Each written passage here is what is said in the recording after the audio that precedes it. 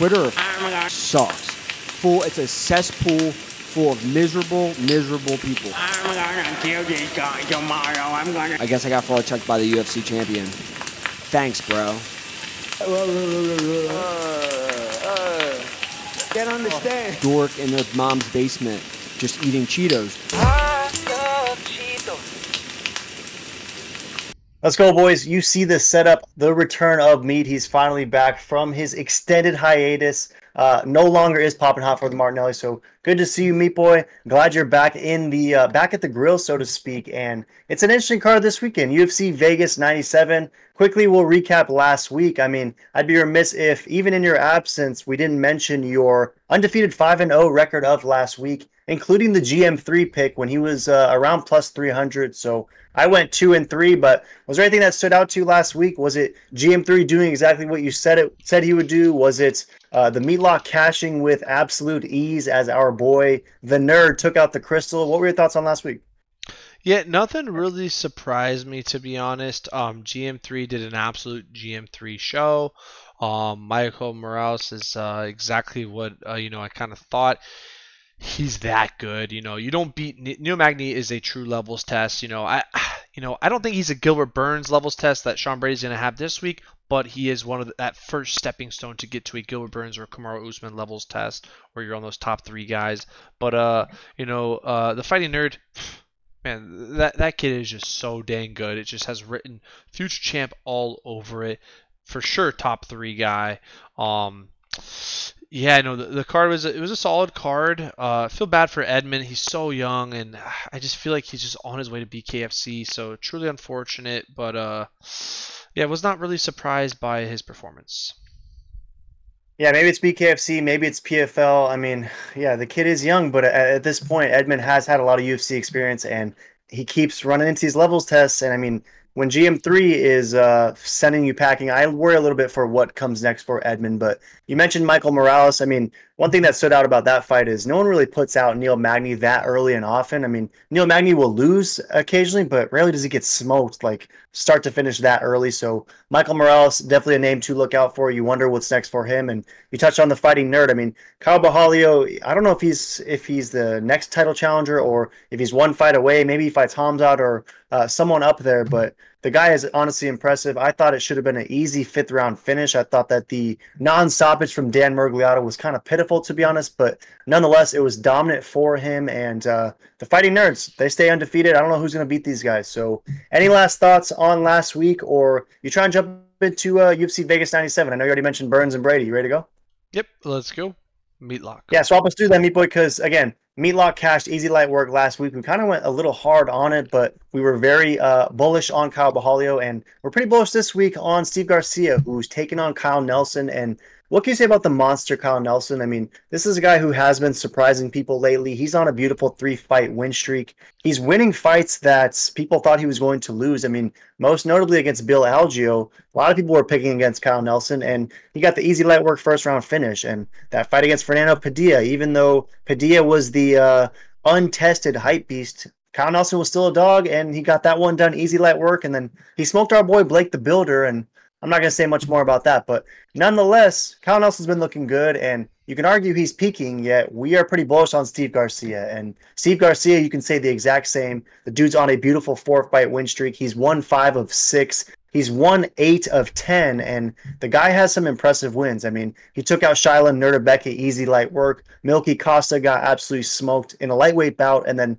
most recently, uh, Choi Sung Woo got absolutely smoked performance of the night, easy light work for our boy Steve Garcia. So, although both guys you can argue are peaking, we like Steve Garcia's wins a little bit better recently, and just the way he's been getting these wins. He's been dominant. So, what are your thoughts on Steve Garcia at a minus 180 favorite? What do you like about him as this week's meatlock? And is it going to be early and often against the monster? Yeah, uh, you know, Steve Garcia, his recent recipe has been KO early and often, and I think that's what's going to happen. The mean machine is coming, and he's me cashing the green. Um, he's been looking really great, and uh, I think he might be a little too fast and too, you know, seasoned for uh, Kyle Nelson.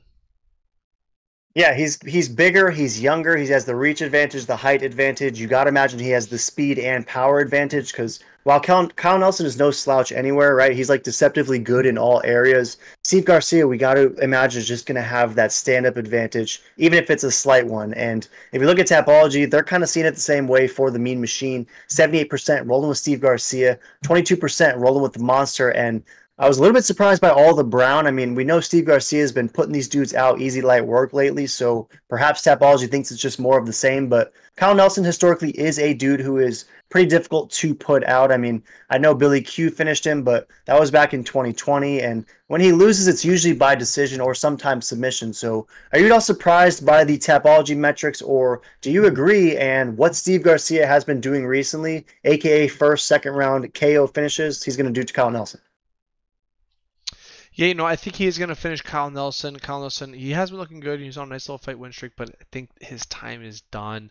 Um, I just don't really see, you know, uh, Kyle Nelson being that, you know, top tier fighter when I could see a lot of potential if Steve Garcia keeps leveling up, keeps getting better. I think he could reach that top 10, uh, you know, early and often.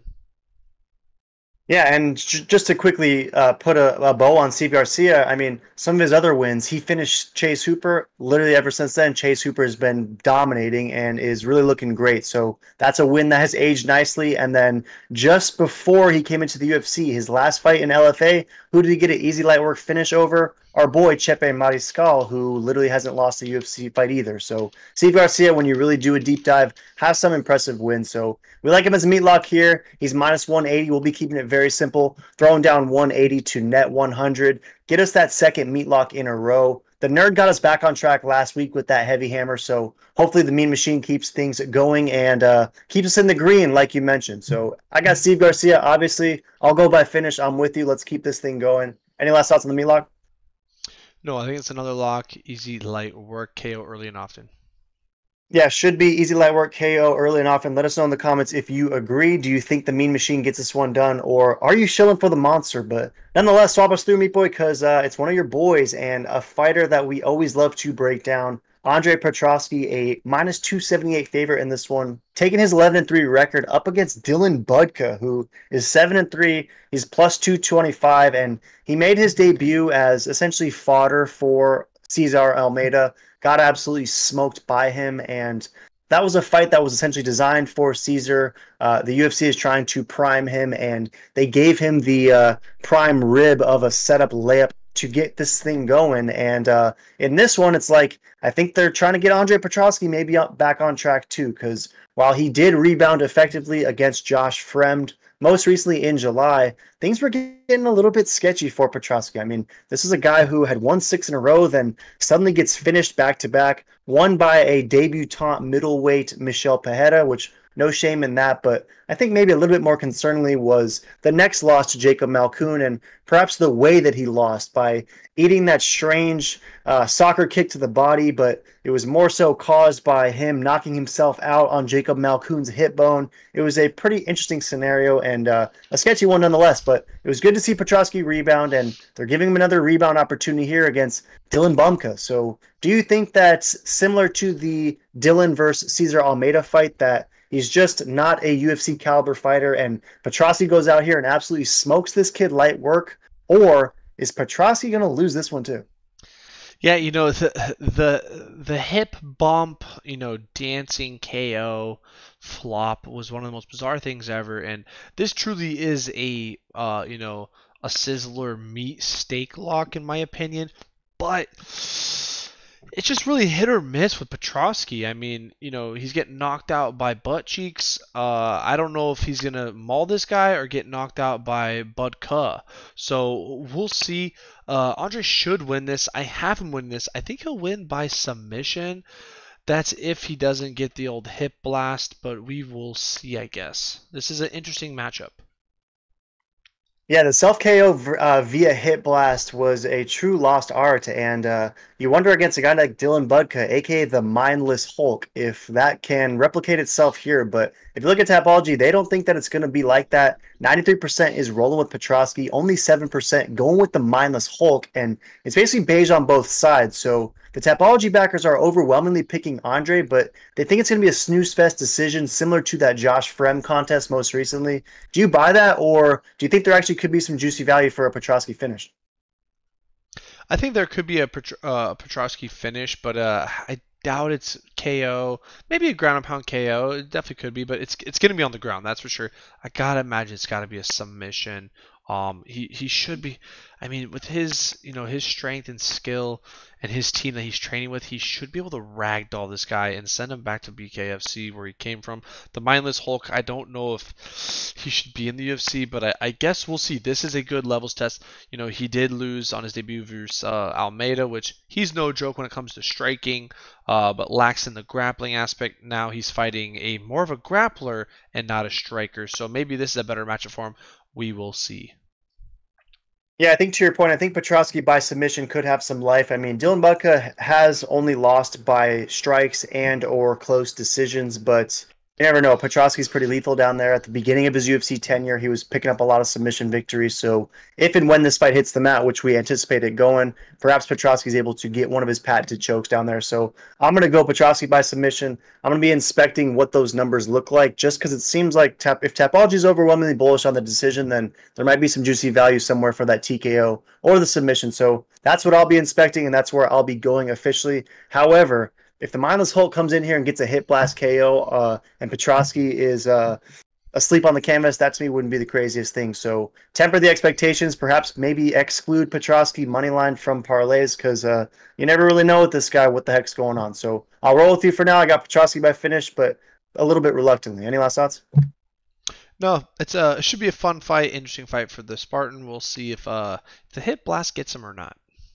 Yeah, it should be fun, and uh, if it is a good outcome for him, maybe he won't be the uh, opening fight on the next card he's a part of, because it seems like he's the curtain jerker for every fight card he's on. But we'll see what happens. Uh, it is a nice little Philly sandwich, though, right? Petroski's starting this card off. Brady's going to finish it, but before we even get to that one, swap us through, me boy, because uh, Ryan Spann, your boy Ryan Man, Superman Spann, is taking on OSP, Ovince St. Preux the patented uh, St. Preux Von Flue choke could be in play here because if you remember the last time we saw OSP, he was like a plus 450 dog against Kennedy Nzechukwu, and the only person in the uh, YouTube MMA prediction sphere that picked OSP was you. You said that he was going to get that one done. I thought there was no way that a seemingly prime Kennedy would go out there and lay an egg against OSP, but OSP proved even at 40, the dude still has a lot left and is still a guy that's going to take out a lot of these dudes in the UFC. And when you look at Ryan Man, Superman Spann,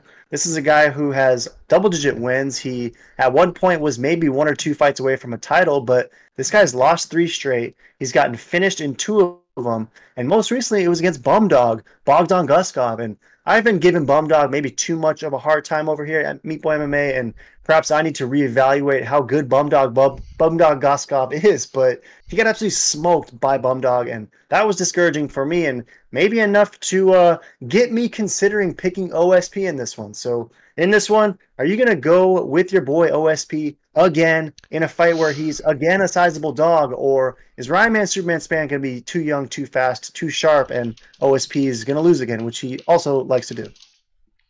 Yeah, you know Ryan is a is a hit or miss kind of guy. Lately, been missing big time. You know, losing to losing to Anthony Lionheart Smith, which that's, and then uh, Bomb Dog, uh, Guskov. Man, that's pretty bad. When Ryan Superman was one of the top prospects. I mean, he KO'd Dominick Reyes. He beat Ian Cutelaba. Like these are no joke guys.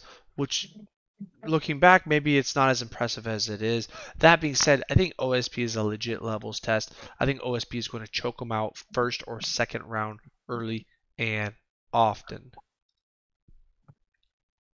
First or second round, early and often. Yo, this is actually pretty funny. Fresh off the grill, meat boy. As of one hour ago, check out this headline.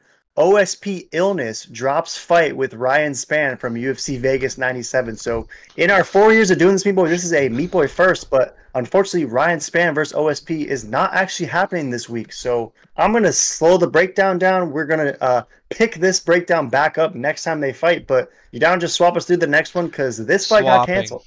Crazy.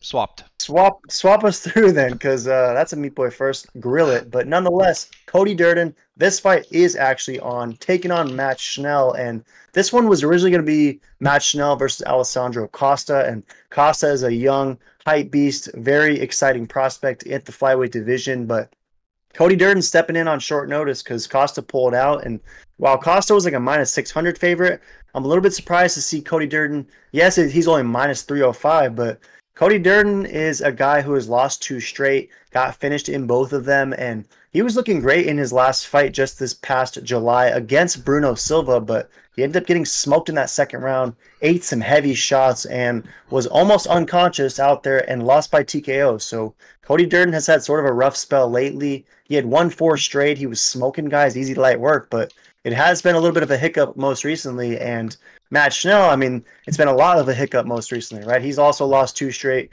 got slept out cold in both of them. He's lost three of four. It's basically been bad news for Matt Schnell, but at plus 240, this is a guy who is usually in competitive fights. I mean, he'll be throwing bombs of his own. It's just he's been getting slept by the return meat bombs lately. But that fight against Sumu Darji, we talk about all the time, fight of the night, he was basically asleep slept by Sumu, but Sumu couldn't just land that final punishing blow. And as a result, Matt Schnell was the one picking up the second round finish in the end. But that at this point was over two years ago. And like I said, it's been pretty rough since then. So, what are your thoughts on this one?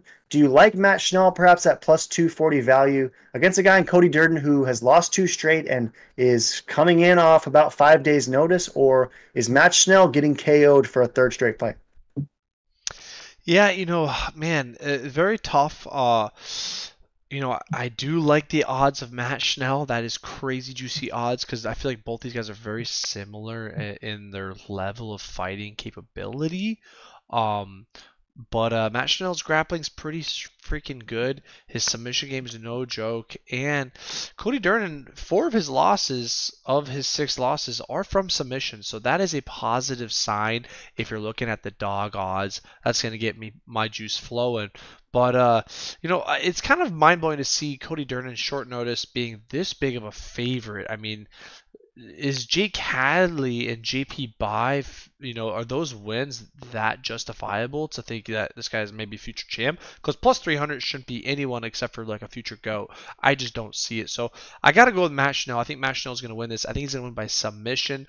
And uh, if Matt can keep this a grapple heavy, high intensity pace, he should be able to burn out Cody uh, being on the short notice, and he should get that submission. I truly think so. I do like these odds. I'm going to go to Schnell via submission. I think uh, he's uh, ironed the chin up and no more glass jaw chin.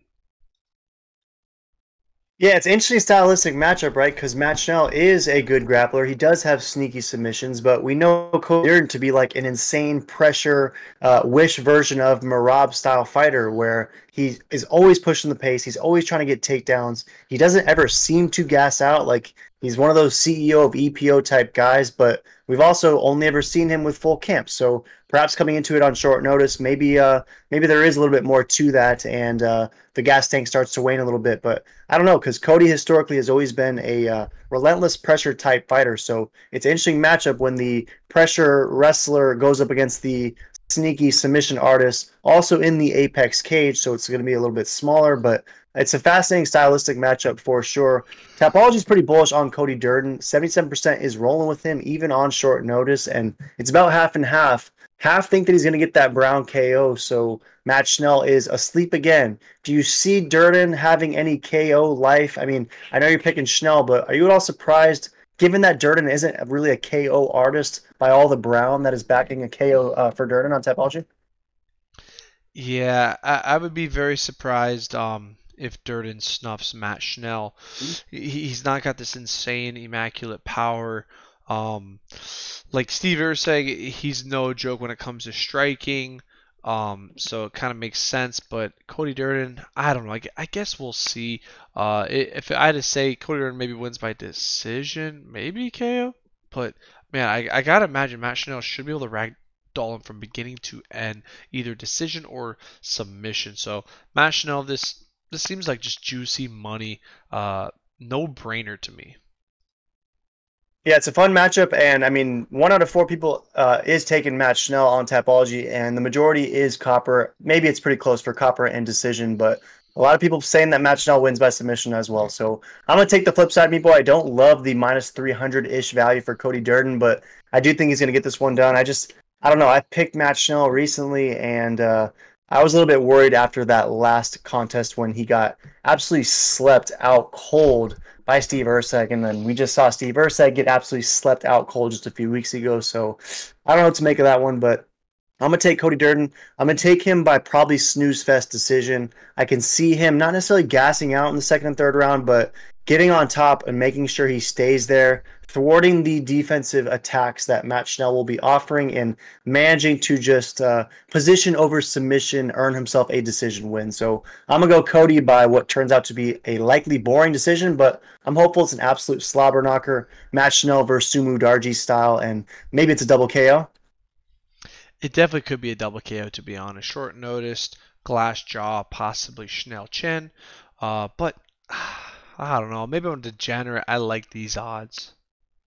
Yeah, I don't blame you. Let us know in the comments. Are you taking Danger Match Schnell as a about a plus 250 dog, or is Cody getting this one done, or is it a uh, Cody double KO? We shall see nonetheless. But swap us through the next one, Meat Boy. Jessica Andrade taking on Natalia Silva. It's the co-meet and another interesting fight as far as the odds are concerned, right? Because Jessica Andrade, right, former champ, 26 and 12 overall, is a plus 245 dog, and she's no uh, secret. Like she's no, uh, she's been a dog in some of her recent fights, but in this one against Natalia Silva, who yes, obviously very talented, five and zero oh in the UFC. She is a little bit untested, right? And she has some nice wins. Araujo, Andrea Lee, even the Jasmine Jasudavicius win is aging nicely, but Jessica Andrade has gone in there against literally everyone, and she's picked up some nice wins recently. Like it's not like she's riding a Tony Ferguson like L streak. She is just has won two in a row. She beat Marina Rodriguez at UFC 300 and finished Mackenzie Dern Performance of the Night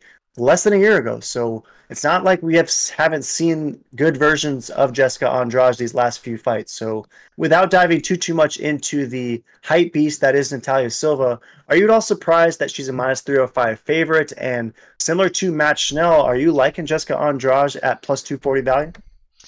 Man, I you know I am a big fan of Silva. I think she's an absolute beauty, uh, an absolute uh, you know the future possibly of the division. You know, she's young, she's very talented, but man, Jessica Andrade hits like a truck, and uh, you know you just cannot deny that. I think Jessica Andrade might be one of the worst fighters, but there's not too many high level fighters in that division, so she's actually one of the best.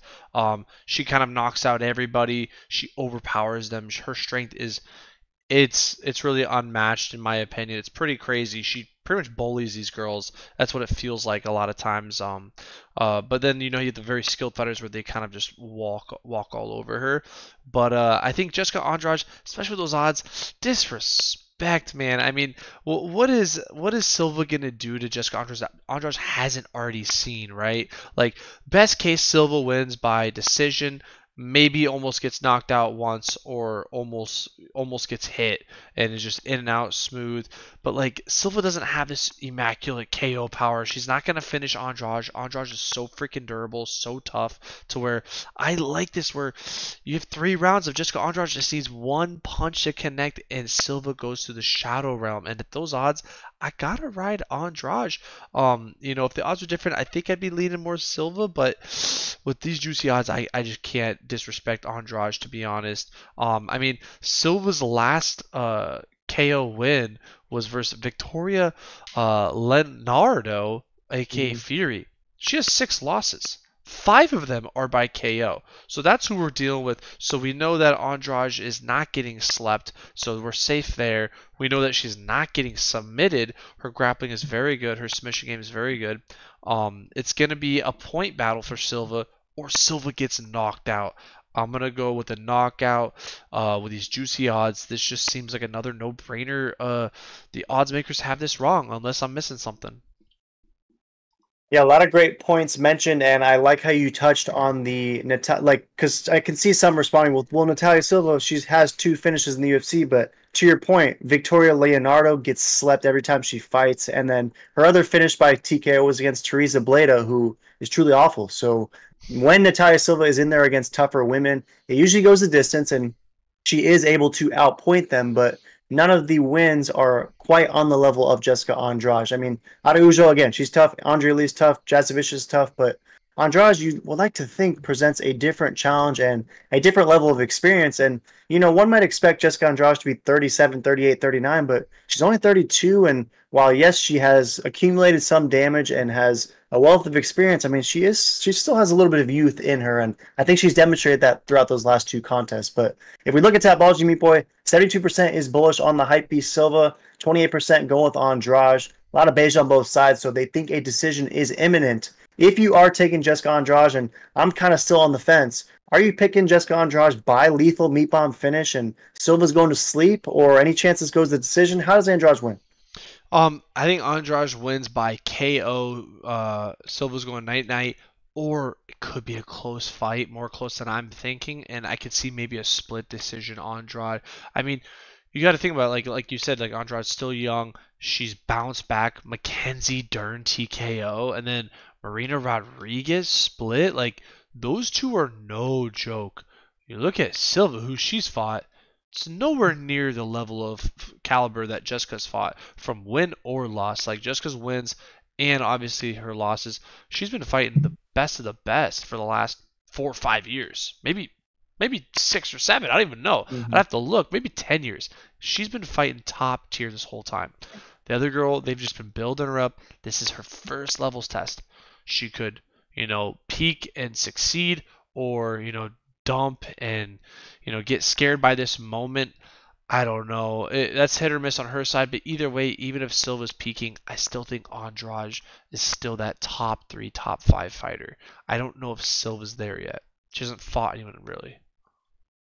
Yeah, I buy that a lot. And, you know, sometimes they just, uh, for instance, if we think about la- uh, two weeks ago, the Fighting Nerd versus uh, Cannonier, sometimes, yes, they haven't fought the highest caliber fighter in the division yet, but just because that hasn't happened yet doesn't mean it won't happen next, right? And we saw that in Cannonier versus uh, versus the Nerd. So maybe we're, we're, we're uh, getting that here, but to your point, yes, Jessica Andrade, just look at her last 12 fights. They're literally all against either former champs or number one, number two, number three ranked women or hype beasts like Erin Blanchfield or Yan Xiaonan. I mean, she only fights against legitimate killers. So in this one, you said that you did see a pathway where it's a Jessica Andrade split decision. I'm taking Natalia Silva, Meat Boy, but I think it's going to be very close and one that I'm going to assume Andrade won but somehow the judges are going to find a way to finagle a split decision for Natalia Silva. So I like the split decision call that you are uh, that you were either leaning to or suggesting was a possibility. I just think Silva's going to be on the other end of it. So I'm be checking out fight ends by split or majority decision, and ultimately I'm going to take I'm taking Natalia Silva to be on the right end of that one. But in a very close competitive fight, and uh, I hope Andrade goes out there and sleeps her with a meat bomb because it'd be a nice. Uh, a nice reminder to a lot of UFC fans that she's still here. She still has a lot left to offer, and uh, it wasn't a mistake putting her on this co-meet. So I'll take Silva by simp decision. Any last thoughts on the co-meet? No, it should be a funny bout. Um, it should be interesting to see all the cat, uh, all the uh, um, the Andrade fans out there to see, uh, you know, how she does.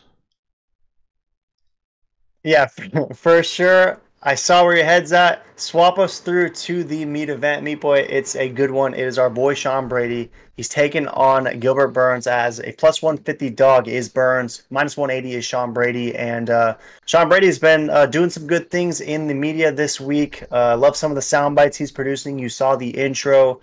I think that this is a great opportunity for him. And the fact that they're sticking him in a meat event suggests to me that the UFC still believes that Sean Brady could be one of their golden gooses and perhaps a future champ because when he lost his undefeated streak to Belal Muhammad, he got absolutely smoked. And that was a fight that, I mean, your boy picked Belal Muhammad.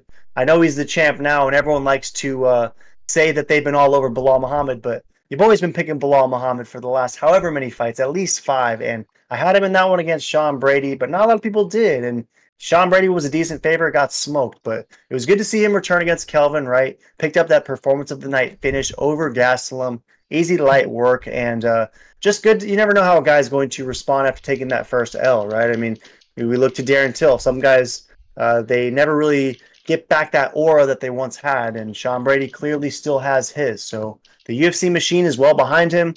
They see a not a legend in Burns, but uh, an OG, a dude who's fought for the title, and a guy who's aging and on a uh, two fight L streak, who they think can unload whatever hype remains and give it to Sean Brady. So, what do you make of the matchmaking in this one? Are you surprised at all that Sean Brady is getting this uh, meet event opportunity, or is this exactly what he needs? The UFC is right to trust him with this spot, and you like him in this one over uh, Durinho. What are you thinking?